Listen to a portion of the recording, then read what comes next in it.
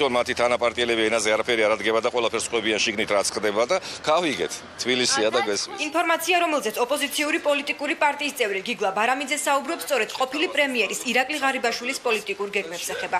მაგრამ ეს ინფორმაცია რომელიც მას პარტია ქართული ოცნების წევრებისგან აქვს არა ღარიბაშვილის ძველ გუნდში დაბრუნებას არამედ მის მიერ ახალი პოლიტიკური ძალის შექმნას ეხება.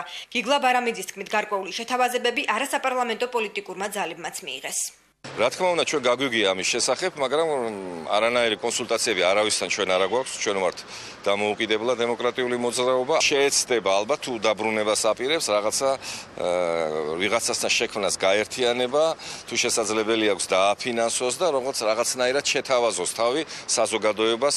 მისთვის უცნობია კონკრეტული არასაპარლამენტო პოლიტიკური პარტიების ვინაობა. მათ მონაწილმა დღეს ეს ინფორმაცია უკვე უარყო, თუმცა შეთავაზების შემთხვევაში კონსულტაციებს არ გამორიცხავენ.